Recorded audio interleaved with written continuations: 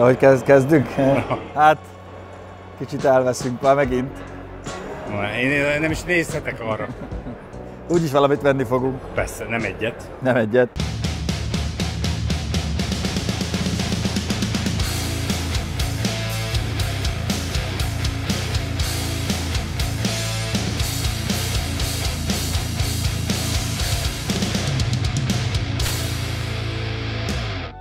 Szóval ezek azért 15 eurók, mert hiányzik róluk valami, ennek ugye a hátsó kereke gumia hiányzik, nek a szárnya el van törve, ez 20, ez minden idők egyik legszebb versenyautója, a John Player Special-es. Úristen gyerekem, ez oda volt. 78-as, 97-es. Ugye Nagyjából ez... nem volt veszélyesebb hát, ennél. Hát nem. Körbe volt a tank. Nem, igen. Szóval ez, ez azért érdekes, hogy ez volt a McLaren első, McLaren, első McLaren Honda, az MP4 per 4.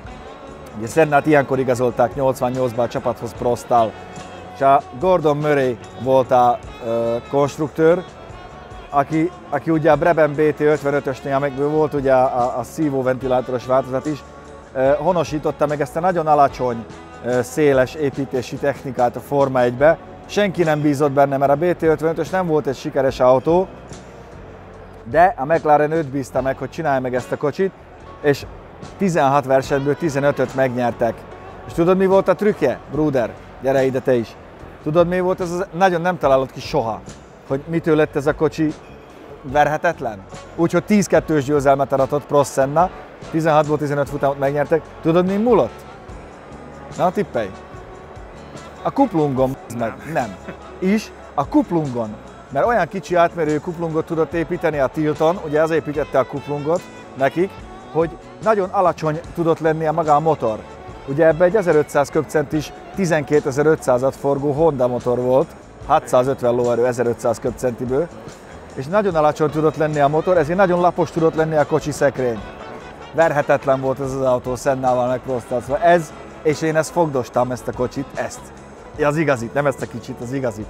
Ez egy, ez egy mérföldkő a Forma 1-es autó történelmében.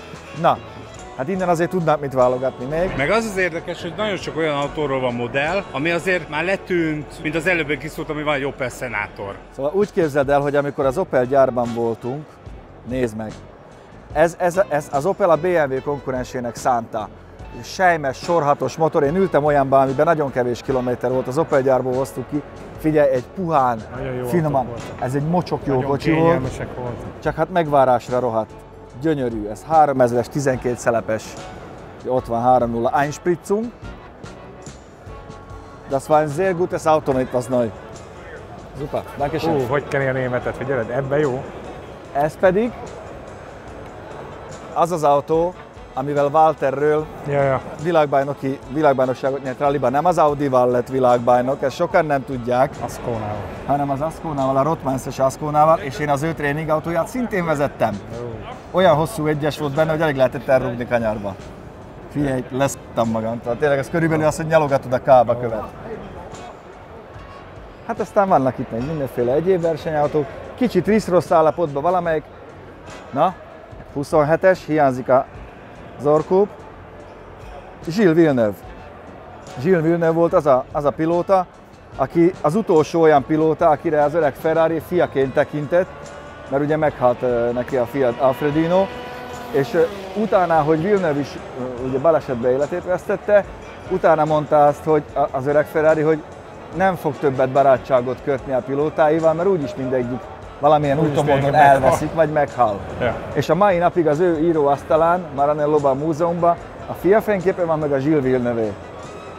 És van egy interjú, amiben az utolsó interjú az öreggel, hogy hogy készül a halára, meg minden, és azzal zerre le, hogy ha, ha visszanézek az időben, akkor felsejnelek szerettei márcai, és a szerettei márcai mögött ott van Gilles Villeneuve. My past is scarred with grief. Padre, father, madre, mother, fratello, brother, figlio, son, moglie, wife. La mia vita è piena di tristi ricordi. My life is full Io of sad memories. Vivo nel passato. I look back and I see my loved ones. And among my loved ones, I see the face of this great man. Gilles Villeneuve. Érted, hogy annyira, annyira És kötődött erre bejött hozzá. süti a képbe. Erre bejött Igen, Gilles Villeneuve a képbe. Te mit vettél ott? Eljött figyelj, egy én szerelmes vagyok. Jó, Tehát, hogy ez, megint? Nem, de ez a Porsche, ez ebben a szívben, Jézus. Mondjuk az előbb összeszoroztuk, és csak egy 10 milliót tévedett az árát tekintve. Tök mindegy, hogy Az a mennyi lényeg, is 3 hogy- rá. milliónál megáll a cucc, annál nem lehet lejjebb Most egy ilyen alkudni. kevert csarnokban vagyunk, ugye itt vannak, uh, itt van, itt van ugye a Brabus, aki a szomszédvárosból uh, van, létezik, B- Brad, Bradburg, Brad, tudja, a tökön mindegy, itt van a szomszédban a, a központjuk, ők mindig kiállítanak itt. Ezeket az autókat meg lehet venni, minden eladó, de ez mégsem a bőrze rész, ez egy kicsit a bőrze szor kettő, nem? Hogy itt azért nem a 20 ezer eurós, meg a 10 ezer eurós, bár már mutatok mindjárt olyat, amit azonnal megvettünk volna. Igen, találtunk olyat. El, elmegyünk oda, Találtunk olyat, amit megvennénk. van itt háromfél merci, ugye fecske merci, és ugye itt vannak a, a Brabusnak a klasszik autói, meg a modern technikával ellátott régebbi kocsijai is. Én nagyon tisztelem azt a munkát, amit beletettek, de engem nem fog meg ez a túrrestauráltság. Engem ez inkább riassza. Ilyen nem volt soha, amikor kijött a gyárból, és ettől függetlenül iszonyú piaca van, meg azért, amikor úgy mész el síelni zöldembe, hogy beállsz a pagodáddal, aminek a tetején ott vannak így a sílécek, azért Autentikó lécek. tud- tudják, hogy nem Gáspár Győző érkezett meg, szóval azért, hm? hanem egy ember, akinek van stílusa, meg pénze is. Ups. Ide majd még jövünk, menjünk el oda abba a sarokba, megmutatjuk, hogy mit, mit szeretnénk, hogy amit, Ja, ja, amit megvettünk volna. Közben utasd az autókat. Jó, hát közben McLarenek mellett batyogunk el, de Itt azért az nem, itt azért ez nem akkora pukkanás. tehát előbb No. ezt a 912-t. Így van, ezt a Fuchsfeln is, Fuchsfeln is Azt hiszem 9 régi labancrendszám van rajta, ugye 11-es. fekete. 11-es már. Régi labanc rendszer. Na most, ami, ami egy kicsit minket is meglepett, az egy tök érdektelen, filléres utcai autónak egy picit komolyabb változata. Nem tudtuk, hogy ebből a fajta SLK generációból készült 6.5-ös Brabus, de itt van. Nagyon kár, hogy nem lehet kinyitni a géptetőt, meg Don't Touch van, de ez így azért ezzel lehet meglepetéseket okozni a Gyerekkorunkban lámpán. azt néztük, hogy hány kilométert mutat a műszer, mennyivel megy. Tehát ebben kérlek szépen 300-ig van skálázva. 300-ig van halott, tehát ebben ugye cseréltek számlapot is. De azért a, a kézifék arra felhívnám a figyelmet, hogy ez mennyire izgalmas lehet azt rángatni. Meg a, meg a váltógomb, amikor egy Figyelj, picit a nap Laci, megkapja. Egy 6 fél V8-ban nem rángatod a kéziféket, csak a tik rángatják benne, hát ráugrasz a kuplungra. Amúgy az az érdekessége, hogy a Top Gear tesztelte ezt a kocsit. Kollégáink a Top Gearből. Szerényen. De ez, van egy névjegykártya, ha esetleg megvenném. Egyrészt, másrészt azt a buflák ótvar Ez kormány, nagyon kemény. azt én sikítva vágnám ki belőle. De legalább látszik, hogy be van marva a kéznek a nyom, lenyomata, hogy, hogy, hogy könnyebb, komfortosabb legyen fogni, de Nem, szóval ez, ez, egy, ez egy érdekes, ez egy érdekes dolog azért, hogy belepasszírozod a 6 fél V8-at ebbe a kis kaszniba, kell hozzá egy diffi, egy kardán, egy váltó, és ez működik, mert hát azért a Brabus csinálta, úgyhogy valószínűleg működik. Ezzel azért... Nézzük meg a mi Na pénztárcánknak nézzük meg a mi pénztárcánkat. Nyilván nem a, nem a Land Rover-t, meg, meg nem meg ezt a gét, Más miatt se. más miatt se, de nem értettük először, meg igazából most se értem, hogy mi az anyámé van itt ez az ezüst színű SLK, azért mert 2700 km van benne, Figyelj, én meg tudom érteni, valaki szerette, nem lehet már újat kapni. Itt a Na de jó, de ez 19.900, ez meg 9.900, és ez az az autó, amit megvennénk. Mert hogy ez nem C36, hanem C43 AMG, ez már V8, nincs benne sok méter. Persze látszik, hogy használva van, meg nyilván tudjuk jó, hogy ez a V202-es, ez hol rohad, Jó, meg meg hol. hát azért a kamera is kiadja, hogy azért Nem- ez nem nem ugyanaz a két szín. Ettől függetlenül Állítólag 19 ezer van benne, Ja. Figyelj, mindannyian Meg amit kételkedünk. Simán el tudom képzelni amúgy. Ezt én ezt 10 ezer euróért. Ja, hülye vagy. Azonnal. Új, ezzel, ezzel azért ellennék. És ez kész van, nem kell hozzányúlni. Így, Igen, ahogy van. hát azért lehet, hogy egy dukó az. Hát Jó, egy dukkó. Jó, mondjuk ez más kávéház, mert 112.500-at kérnek érte. Szerintem 100 el lehet vinni, mert azért annyira nem ritka a bora, de Tudod, kémikusan, tudod, Az. az. brutális. ugye ez a, ez a, és nézd meg, hogy ez az Ez a ülésforma, szagoljátok meg a nagypapa régi bőrkabátját, na olyan Igen. szaga tehát Ez az ülésforma. van. ugye úgy van, hogy a 458-as Itáliában ugyanez a formájú ülés van, három méretben kaphattad, kicsi, közepes, nagy. És ugye ezt nem ők találták ki, meg a, meg a redőnyös kis takarócsa ők találták ki ott a, a, a, izén a középkonzolon, de a kazettás Becker Mexikó az önmagában 1000 eurókat ér, ami ott van. És na ez, ez az állapot, ez a, ez a megőrzött, nézd, a polírozott, Igen. ez, ez a megőrzött, Nekem ez ezt, a, én nekem ezt ez a szeretem. kütyüm, sajnos. Gyönyörű. Ez, ez nagyon szép. Socsi nincs még Delorinod, Bruder. Hát szerinted. De Delorin egy, egy Szóval magyar volt. az. Ki nem? Nem is sikerült rendes autót gyártani. Igen, el is kapták 100 kg kokaina. De nem egy Delorinba. Felhívnám figyelmeteket a kipufogó csőre. Igen, szóval a szalámiba elvágott hegyke kipufogó, az, az csak az olaszokra jellemző, és az, az igazi odakent fallosz az Igen. orrod alá, amikor így megelőzed. Igen, ez a, ez De a, viszont, ha kitúr, itt ez a megnézed, kitúrom, kitúrom a azért itt is, Fikát az orrodból. négy van magasan. Igen. Akkor még nem volt szempont, hogy alacsonyan legyen a kipufogó a föld felé fordítva, nyugodtan bele, a benzol gyűrűket beleokádhatta a pofádba, igen. hogy az érezzed Hát vagy még az. egy, hogy a szoknyát föl tudta Igen, rántani. és felhívnám a figyelmet, hogy a hátsó lámpa ugye ugyanattól a beszállítótól származik, mint a De Tomasson és láttunk a aki az múltkori ihletet a adásban. ladától merítette. Jó, a Lada is az olaszoktól, szóval. Mert mindig kijavít, ez hihetetlen. Hát igen, ezeket, ezeket meg lehet venni, ezeket a dolgokat sajnos. Hosszanti fűtőszám, az sem volt gyakori. szerinted, most csak magunk közt értem, hogy Louis Vuitton meg Hogy a zebra? utazatáska, ja, a zebra. Tehát el tudod képzelni azt a pillanatot, amikor azt érzed, hogy jó mód van, van egy valószínűleg gusztustalanul berendezett kecód, mert ízléstelen vagy, és hogy mi hiányzik itt, töprengsz hátadőz, egy- és azt mondod, ci kell egy Én zebra. nagyon lőnék egy gyönyörű szép tigrist mindenképpen.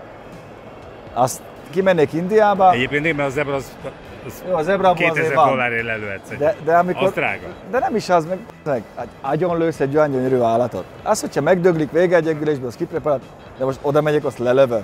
Hát a f- Esből Inkább egy csillagmotort messzire. bepakolsz oda az inkább oszlop egy csillagmotor bepatolom. Vagy egy üvegcsocsó. Igen. Én úgy gondolom, hogy egyértelműen a távol-keleti, illetve az orosz vevőket céloz meg. A, látszik abból, hogy gyakorlatilag ilyen Süti jég- miből van? Ilyen tankcsapdán, tankcsapdán ágaskodik, Frankó tankcsapdánál, hallod? Tulajdonképpen a természet diadalát mutatja az acél jövő fölött. Az üvegcsocsó azt, az, az kéne. Arra azt mondom, hogy az már annyira gicses paraszt, hogy az kell. Mondjuk azért nem tolonganak a Azért vásárlók, én úgy szerbe az látom. ott jó mutatna. De miért egy csillagmotor a hálószoba falán? Tehát, hogy de az se néz ki Amúgy ez szerintem ilyen kamu csillagmotor, nem? Nem, igazi lesz az. Szerintem Simpson blokkokat raktak egymás elé, hát erre a csillag Nem, szerintem az valami ruszki, ruszki egysoros csillagmotor. Aha, jaj, jaj. Direkt ki Itt, akartam itt, hagyni. szoktuk, itt szoktuk elveszteni.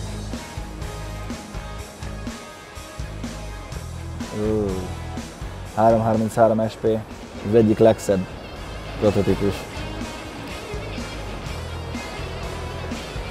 Tök jó amúgy, hogy ennyi alfa cucc van itt, meg, meg Ferrari, mert hát megyünk majd. Megyünk majd egy direkt dedikált ilyen kiállításra is. És ott az autó az a legveszélyesebb gyerek. Ó, meg. Nem, ezeket szeretjük, szóval ezek, ezek nagyon jó minőségű cuccok. Azt a... Elesik. Aha.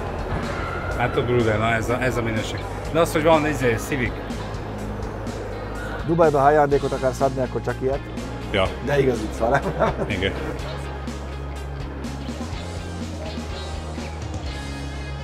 Van autóártos óra is már. Hát és akkor egy rendes van. 550. Na most röhögni fogsz, de én 550 euróért már több autót is vettem, igazit. Ez annyiba került, mert nincs benne a kofferszett. De utána nem kell költeni a karbantartásra. Ez igaz. Csak arra vigyázol, hogy mikor veri le a gyerek a polcról. Hú, megérkezett. Új, új, új gyerekek, gulf festés. Az, ez a végzetem. Ó, Ez is Istenem, nagyon klasszik, a Jägermeister. az is, de gulf, Hát, már nincs szebb. Egyszer még lesz egy gulf trabantom. Mit a te Pista? Alessandro Nannini és Nicola Larini 155-ös versenyautója. De nagyon érdekes volt ennek az összkerékhajtása. Három differenciál művet használ, de erről majd beszélünk az alfás kiállításon. Ezeket terepasztalokhoz Tibikém? csinálják ilyen piciben, nem? Hát én én inkább a mögötted azok a kis izé, fityegő logók. Já, ezekre gondolsz? Az, A Forever, Speed. Igen, szóval Nagyon át tudnám alakítani elemlámpává. Kettő fél egy olyan? szerencsére fény. Kettő fél? 25 euró. Tehát azért ez Kérsz? Testápoló. Máshol láttam a az. Gumírozott markolat, hogy ne csúszol le a kezed róla. Csinálunk valami egyesületet, Biztosan fogjad. Ugye? Amúgy kamutávcsőnek is használható. Illetve, ha nincs kézni biliárddal, akkor legrosszabb esetben De ez fordítva. kinek nincs ilyen otthon, tényleg nincs tényleg. ütőt. Kis, na és itt a nagy baj. Hát főleg ott jobbra. Nekem ott van végem. ez, ez Porsche klubok autói vannak kiállítva. Ez itt egy spanyol Porsche klubé. Ez szintén, szerintem lehet, lehet, hogy az összes. 9-14 ennyibe kerül. Hát jó, ez szét van reszelve, azért gondolom. Ezt el is adták 130 ezeré, ugye ez a Carrera RS, a legértékesebb a mind közül. Verkauft. Ez már nem lesz személyek, Bruder. Na, ez, látod? Ez. Így, ahogy van. Üléshúzatta. A Penot Green. Szörmés üléshúzattal. Figyelj, Mondjuk én jobban szerettem a teli oldalast. Ez egy korai, ugye meg a 280-as motor az nem is volt annyira szeretett melegedni. Egyébként meglepően jó az is. Jó, Hát a nagyon probléma meg. rendben- Ugye 9000 kilométer, És 12 ezer euró. Szagolj már be. Ugye megvan a windshot itt a izén, a, Ez, A nagyon, ez nagyon merci, hallod? Ez nagyon merci. Ú, ezt szagoljatok bele ti is, hallod? Ez nagyon merci. Ez tényleg nagyon merci. de tudod, tudod milyen ebben, mikor ebbe beleülsz. És megérkeztél, Egyébként, egyébként nem akarok illúzióra romboló lenni, de nem annyira kényelmes. Tehát oldaltartás ennek az ülésnek nem volt. Azért, mert te egy, te egy, Nem, ős, nem, egy nem kromanyoni ősember vagy. nem azért, nem azért, nem. Ez a 24-esnek Persze, jobb oldaltartása van, a nagyoknak, a 26-osoknak túl széles volt az ülése, és nem volt meg ez nem a... kell kanyarodni. Ja igen, gyorsan. persze, hát világos. Ezzel visznek. De mindegy, ennyit az illúzió rombolás, egyébként csodálatos autó. Azt a...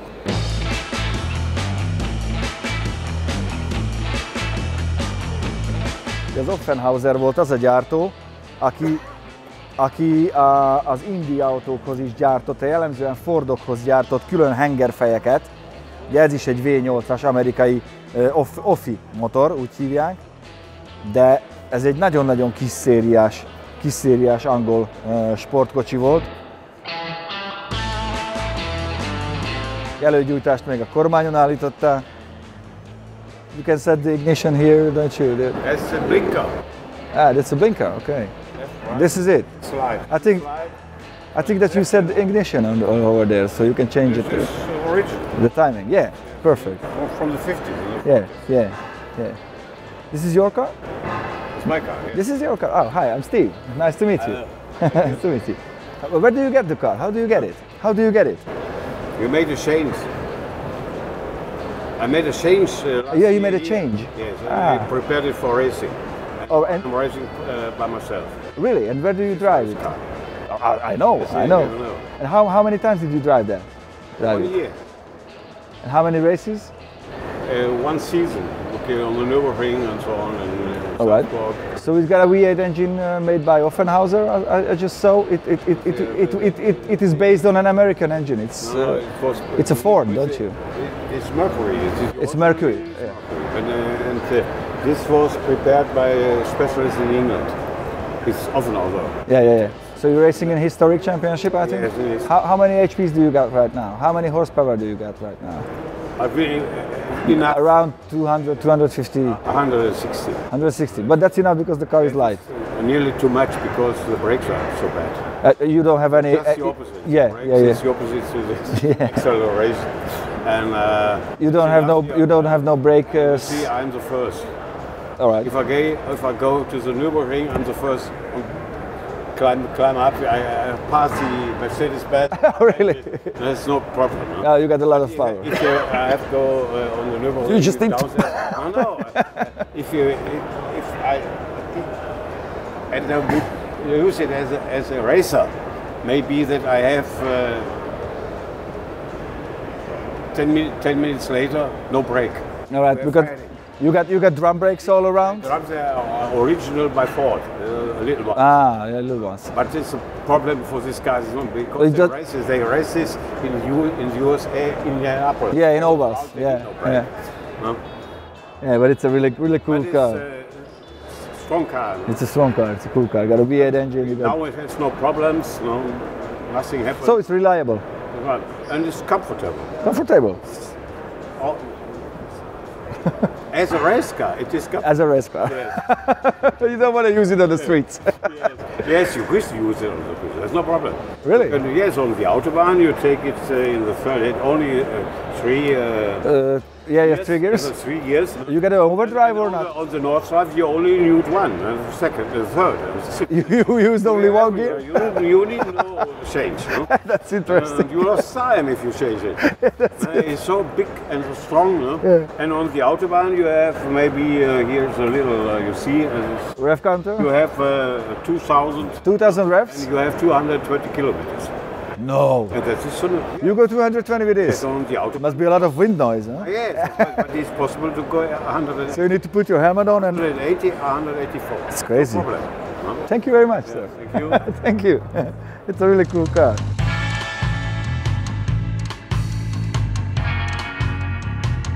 Közben itt elsétálunk kétszer-háromszor, nagyjából az egész csarnok, hanem az egész kiállítás legdrágább autói mellett, mert hogy tudod, az angolok azok nem tolják magukat nagyon előtérbe, nincs csitti-fitti körítés, csak így kitesznek ide egy olyan autót, megmutassam, hogy mennyiért ment el legutóbb a Sotheby's-nél az 507-es? 2 millió 175 ezer dollárért adták el legutóbb az ilyet feketébe. Úgyhogy azért ezt nézegessük egy darabig, 250 darab készült belőle a világon. És hát bőven másfél millió euró fölött ér ez az autó. Ami csak így Már ne várja, mennyi, mennyi volt? 2 millió, 2 millió 175 ezer dollárért ment el 2019-ben idén egy ilyen. Hát az, az majdnem 2 millió euró, mert ugye most 10 százalék. Meg, meg hát ez egy, sirályszárnyas SL. Igen. A leasingre nem adják a papasztást. Már számol. Ez mi? 239 millió? Hát figyelj. Így. Szóval azt az 1,6 milliárdos lottó ötösből vehetsz kettő Á, anyám Isten. És Gyönyörű. vége. És vége. vége. Gyönyörű. Ezek a tárgyak, Ez, ez, ragadozó ez, ez, élet ez volt. Mona Lisa, ez szobor, ez befektetés. Akkor leszünk nagyon nagy bajba, amikor majd egyszerűen egyik napról a másikra hirtelen ezek elértéktelenednek. Mert Hát, vagy Ezek a, ezek a gépek. Mert elfogynak azok az emberek, akiknek ezt el tudod aztán adni, vagy akik, akik számára ez értéket jelent, érted? Igen, és egyre közelebb Felnő egy olyan a generáció, ponthoz. akinek ez már az a szép öreg BMW, adok érte 800 ezeret. Ja, csak euróba kéne.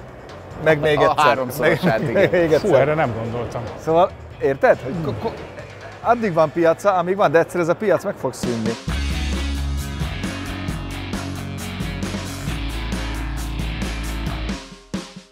Ki van nyitva a Brabus, gyere csak!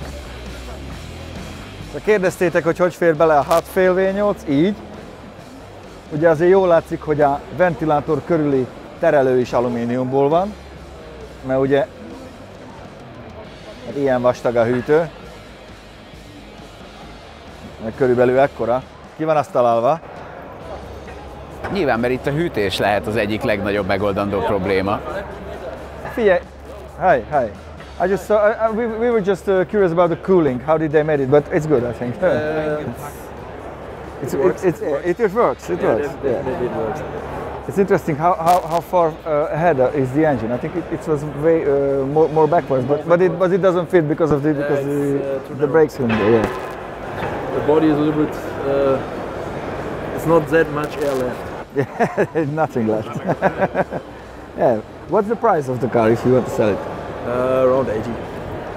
80, 80k. 80, 80, 80,000 euros. Yeah. It's worth it. 40, it's 41,000 case uh, on the auto. First, first owner was uh, Tom Cruise in LA. Oh, really? So they delivered the car to 99 to Fletcher Jones. Do you have any proof of it? I have uh, I have the pictures of the of the showroom. All right. I have the picture, of the registration of Beverly Hills. All right. Uh, what I what I don't have, we had a discussion with with Sotheby's already. What I don't have is because I don't, they don't gave me a copy Yeah, yeah, yeah. of the bill of sale because the address on the thing, you know. All right, but but if if- somebody buys it, he can he can sell it that Uh, yes. because there's an added value that Tom Cruise was the first Yeah. one. Uh, really, I don't really know. If, All right, because it's not Steve McQueen, you know. of course. How, how many how many are uh, of these are made? in? Five. Only five. Only five. That's number five. The last one. Yeah, that's a crazy thing, man. How many AP HPs do you got? 450. That's enough for a small car like that. For 1300 kilos is okay. Yeah. Thank you. Thank you very much. No, you're welcome. Támogattunk az MKB Euroleasing. Számolhat velünk. Axial Kft. Mezőgazdasági és építőipari szolgáltatások szívvel, lélekkel. A műsor támogatója a prémium mobilitási szolgáltatásokat biztosító Sixt. A műsor támogatója a Petronas motorolajok kiemelt forgalmazója, az olajshop.hu. A műsor támogatója az Invention Factory Development Kft. A műsor támogatója a Perizsia Consulting Kft. Szóval azért a Szihának vagy Sihának a standján vagyunk, ugye ők a rendezvénynek a szervezői, minden évben valamilyen tematikus kiállítást hoznak ide, és azért halkan teszem hozzá, hogy látszik, hogy igazán szakértőként, profiként nyúlnak bele dolgokba. E, idén például verseny, klasszikus versenyautókat mutatnak be, és hát engedjétek meg, hogy elkezdjem ezzel. Ugye sokan leporsézzák, pedig igazából a pontos típus neve Kramer K3, ami a lényeg, hogy ugye a, a Kramer céget azt, hogy is, Manfred és uh, azt hiszem Edward uh, Kramer alapították, ők német Porsche versenyzők voltak. Nagyjából a 70-es évek végén, tudjátok, amikor a Porsche uh, volt, a, uh, volt az egyedülalkodó a Gruppe 4, illetve a Gruppe 5 versenyautó között, ők akkor megvásárolták, egyedüliként használhatták a, a sablonokat, és a gyár megengedte, hogy tovább fejleszék ezeket, a, ezeket az autókat. Tudni kell róla, hogy a K1-es meg a K2-es nem is, de ez a K3-as volt az első, ami igazán nagy átütő sikert meghozta neki. Ez 1979-ben megnyerte a 24 órás Le Mans, szóval ez nem egy, nem egy, nem egy véletlenül kitalált dolog volt.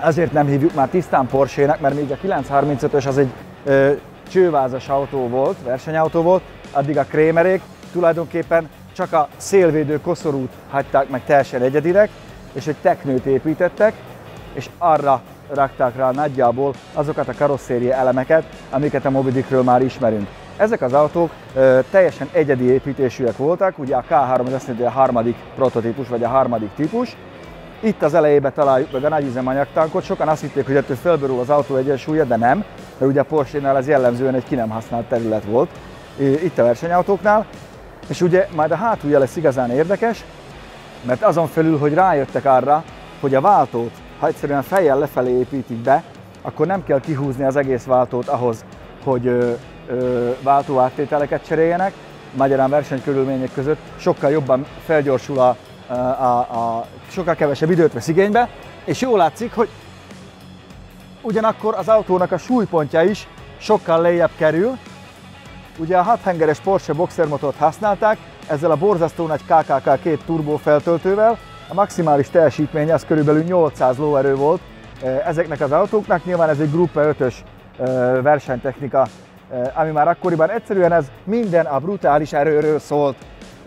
Nem volt még annyira, annyira fontos, de látszik már azért, hogy dolgoztak az aerodinamikán, kellett a tapadás, de még inkább erős kellett, hogy legyen egy autó. És ha megnézed, bent, ugye a pedálok mellett, vagy a pedálok alatt van egy ilyen műanyag formázott teknő, látod, ilyen, ilyen, ilyen, ilyen májszínű, ott, le, ott, ott, ott, ott, ott.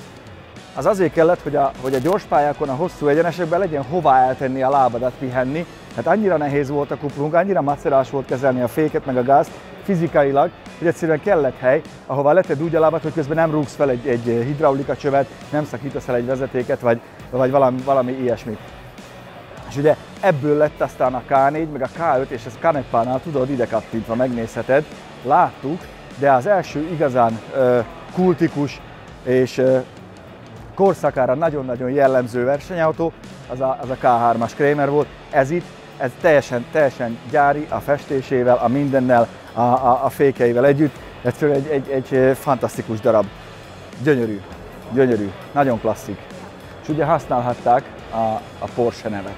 de nem 935-ös, ez nagyon-nagyon fontos, az Porsche Kramer K3. Sokat még amúgy nem szakottak annak idején, tudod, a Wastegate-tel, meg a mindenféle uh, downpipe az ott kijött hátul, aztán kész. Gyönyörű.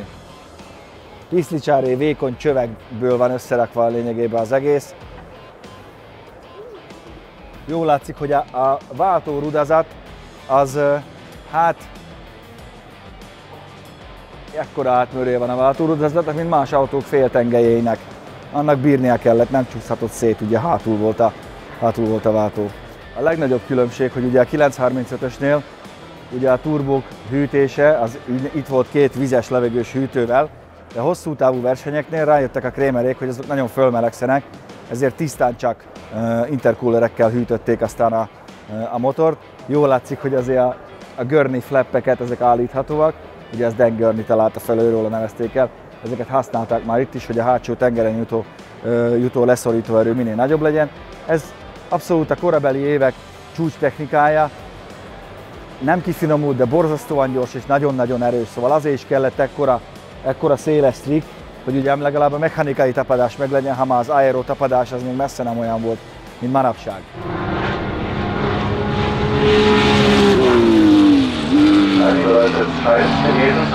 De menjünk át, nem menjünk el szó nélkül, de azért mutassuk meg talán a, a Procar BMW M1-et. Ezek ugye a mai napig versenyeznek amúgy ezek az autók, szóval nem csak úgy vannak itt, hanem ezekkel a mai napig különböző, jól látszik, hogy 24 órás klasszik endurance versenyeken indulnak.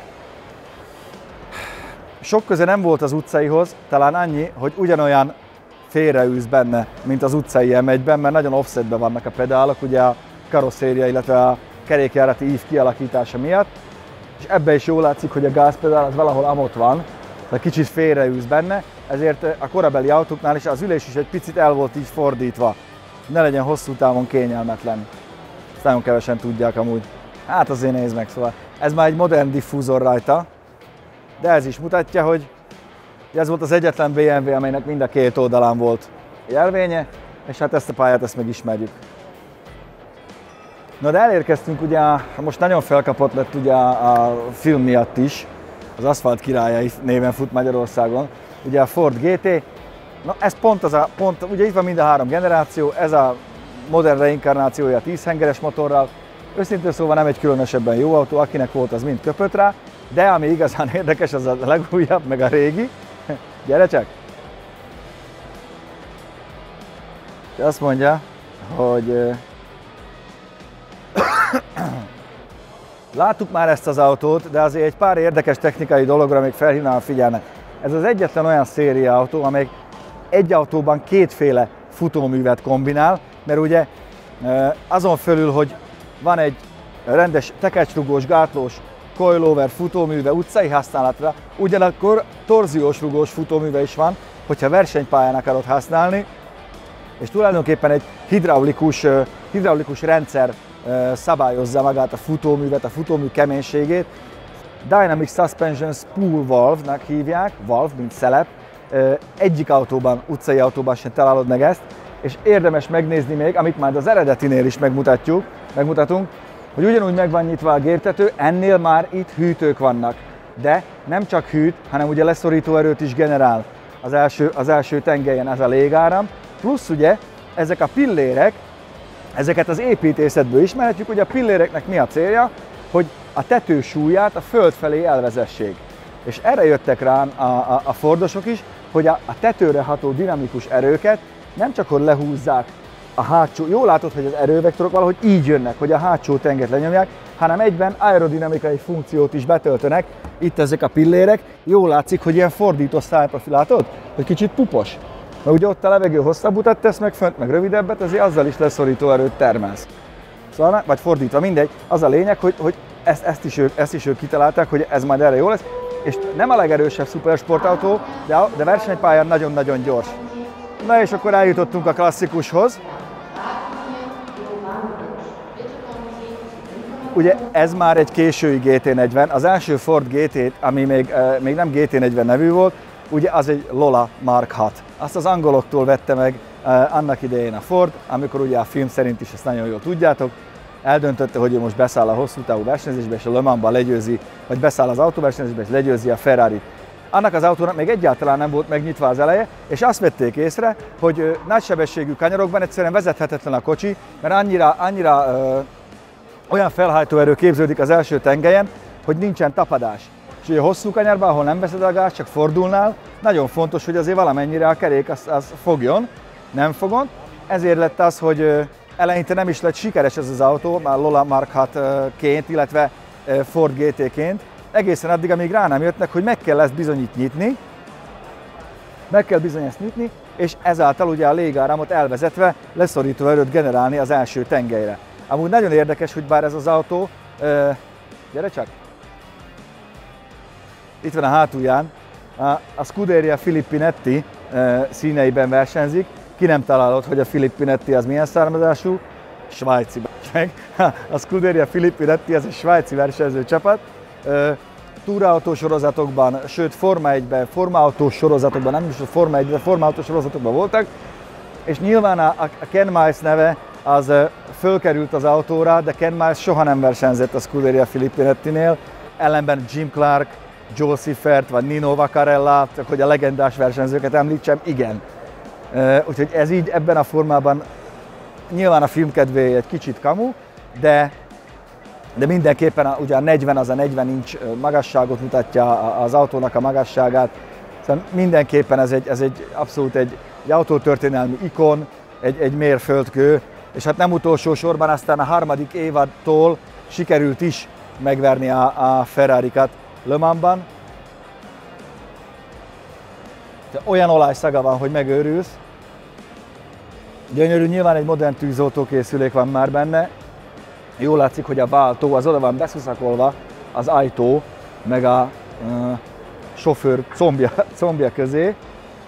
És hát ugye itt van az a motor, amit aztán később szereltek bele, eleinte azt hiszem a 4.9-es motorral szerelték őket, de akkor lettek igazán sikeresek, mikor megkapták a nagy 7 literes Ford motort.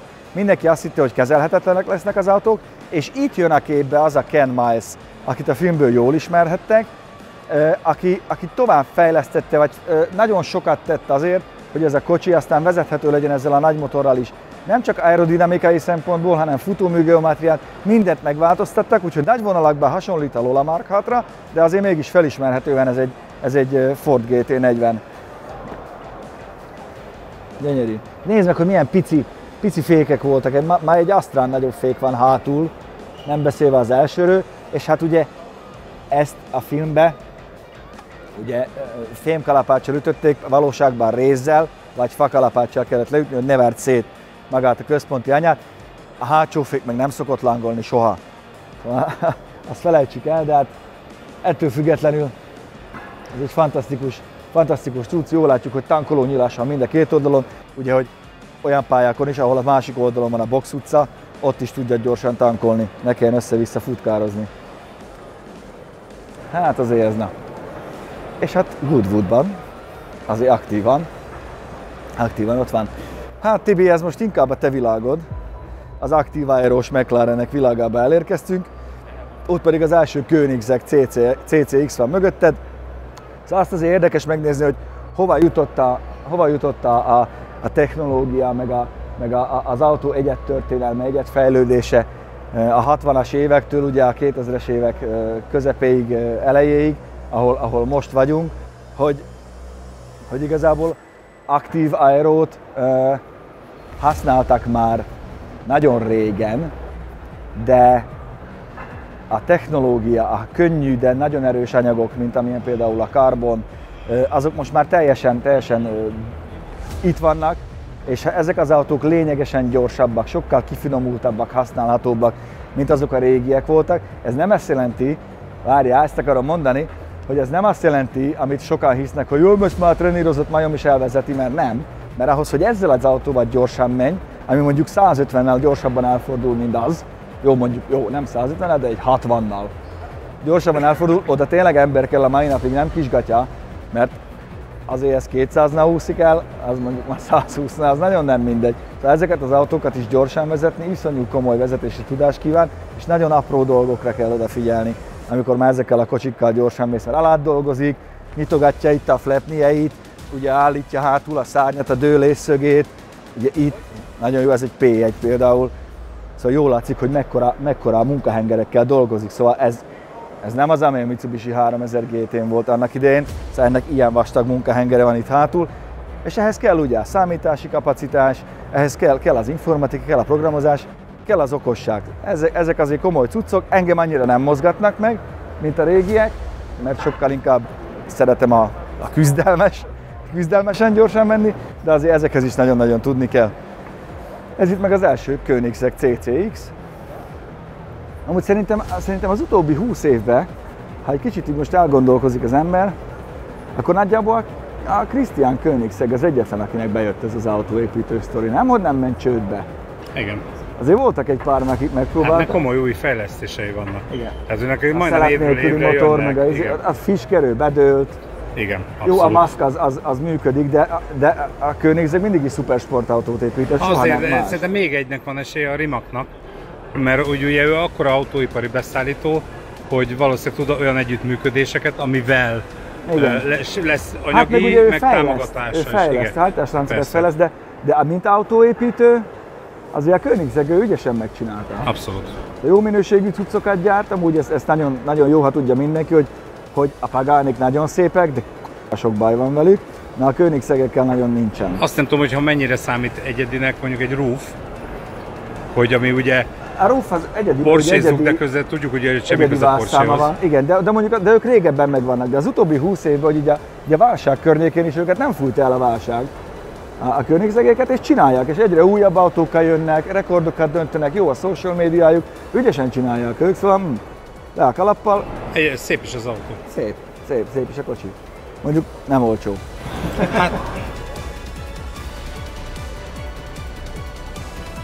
Ebben a szegmensben semmi se olcsó.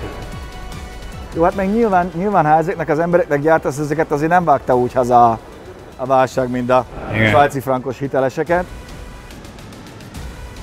De azért ebben is benne van nagyon.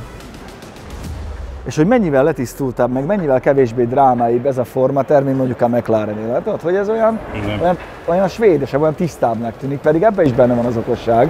Igen, tehát nekem ami pont, ami a Bugatti-ba túl-túl-túl, túl van tolva, mi? túl van tolva, e- ez a, ez a fajta letisztultság, amit ők hoznak, az sokkal imponálóbb. Ja, hát így. Szóval, hogyha, hogyha itt vagytok, vagy kijönnétek ide, mindenképpen érdemes, érdemes eljönnetek. Szépen ott elindulsz, 60-as évek, 70-es évek, és akkor kikötsz itt, és úgy látod a, látod a fejlődést. Tudod, hogyha jó Isten is úgy akarja, Tibi, akkor megéljük ezt, hogy egyszer ezzel az autóval kezdődik a sorot, de hogy itt mi fog állni, azt, azt még arra nem tudom. Szerintem senki se.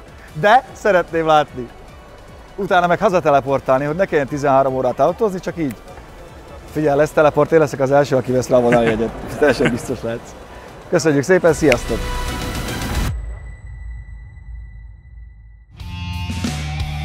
Ha tetszett a videó, nyomj egy lájkot és iratkozz fel, hogy ne maradj le semmiről. Ha pedig valami menő speedzónos cucc kell, akkor irány a webshop.